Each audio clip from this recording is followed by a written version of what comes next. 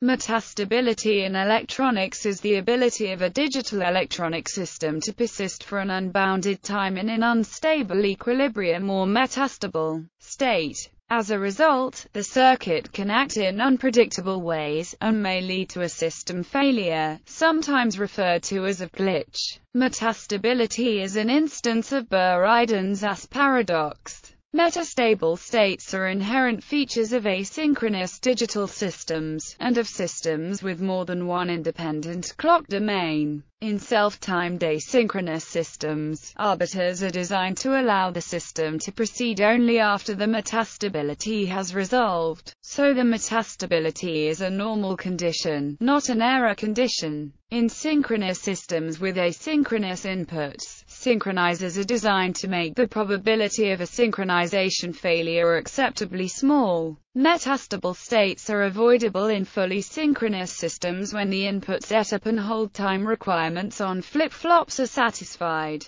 Arbiters in electronics, an arbiter is a circuit designed to determine which of several signals arrive first. Arbiters are used in asynchronous circuits to order computational activities for shared resources to prevent concurrent incorrect operations. Arbiters are used on the inputs of fully synchronous systems, and also between clock domains, as synchronizers for input signals. Although they can minimize the occurrence of metastability to very low probabilities, all arbiters nevertheless have metastable states which are unavoidable at the boundaries of regions of the input state space, resulting in different outputs. Synchronous circuits Synchronous circuit design techniques make digital circuits that are resistant to the failure modes that can be caused by metastability. A clock domain is defined as a group of flip-flops with a common clock. Such architectures can form a circuit guaranteed free of metastability, assuming a low skew common clock. However, even then, if the system has a dependence on any continuous inputs then these are likely to be vulnerable to metastable states.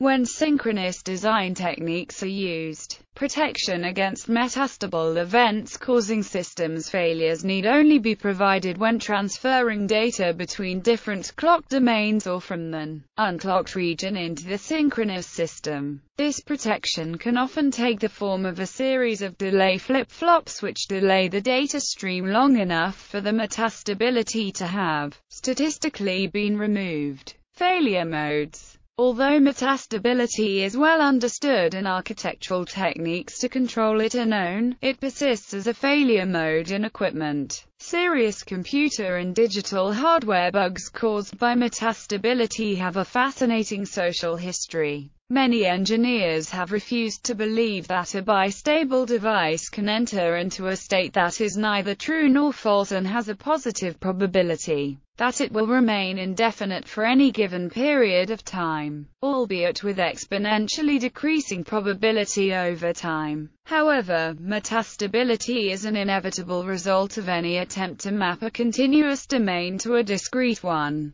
There will always be points in the continuous domain which are equidistant from the points of the discrete domain. Making a decision as to which discrete point to select a difficult and potentially lengthy process. If the inputs to an arbiter or flip-flop arrive almost simultaneously, the circuit most likely will traverse a point of metastability. Metastability remains poorly understood in some circles, and various engineers have proposed their own circuits said to solve or filter out the metastability. Typically these circuits simply shift the occurrence of metastability from one place to another. Chips using multiple clock sources are often tested with tester clocks that have fixed phase relationships, not the independent clocks drifting past each other that will be experienced during operation. This usually explicitly prevents the metastable failure mode that will occur in the field from being seen or reported.